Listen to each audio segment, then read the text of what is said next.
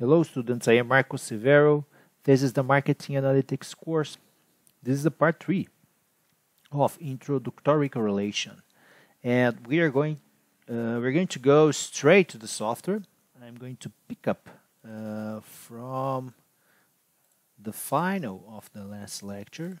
I don't know if you remind this, so we have covariance. Uh, we have two measures of covariance between two pairs of variables. This is the covariance between audience score and word gross revenue. See here, this is the average covariance, 3.5. And this is the covariance between budget and word gross revenue. This is uh, 20.38, uh, 20.93, sorry.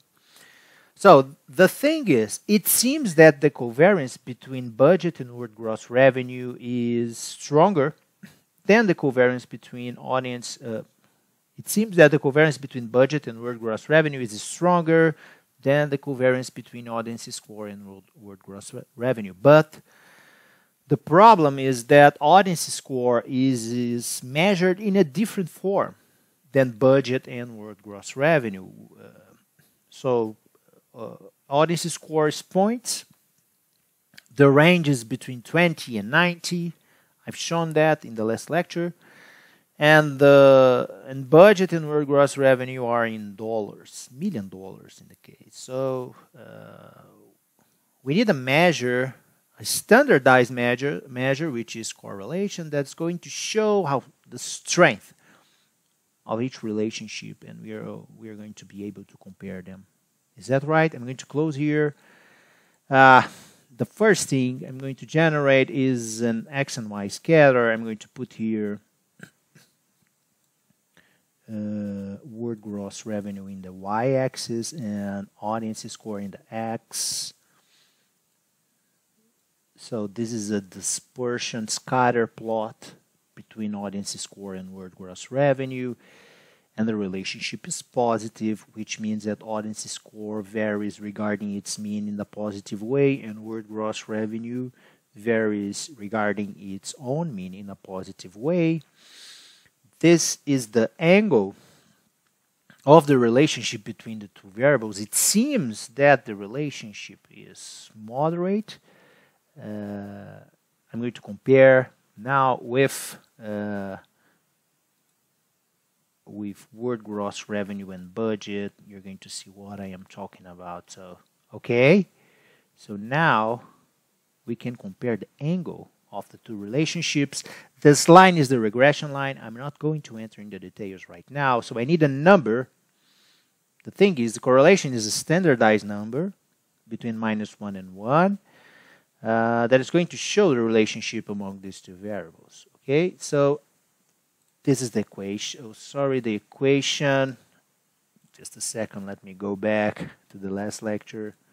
Uh, so this is the equation. I'm not, uh, sorry, this is the, co the correlation equation. I'm not going to enter in the details. I'm not going to create it, this on Gretl as I did with the covariance uh, because hopefully uh, Gretl uh, generates generates this automatically. So I'm going. I just need to go to Gretl, View, Correlation Matrix, and you put here Audience Score, uh, Budget, and Word Gross Revenue, and you click on OK. so uh, the correlation uh, between word gross uh, revenue and audience score is 0.42. I'm not going to enter in the details uh, if this is statistically significant or not right now. We need to conduct a, a hypothesis test to show that, but I'm not going to enter in the details. Uh, but this number means that the correlation is a moderate correlation between word gross revenue and the audience score and this means that a positive linear association uh, between the score from the movies and the gross revenue. Okay? Uh, the same relationship is a positive relationship between word gross revenue and budget. The budget from the movie and its uh, word gross revenue. And it's also a positive but more strong association, 0.71. So I have the numbers now from uh, uh, uh, the correlation coefficients. I'm able to compare and I'm able to conclude that the relationship between uh, budget and word gross revenue is more strong than audience and word, uh, word gross revenue because correlation is a standardized measure. So this is the this is the important thing about the correlation. Uh, and again, I am reflecting uh, the strongest association that I saw here in this exploratory uh, uh, graphic illustration than here. Thank you very much.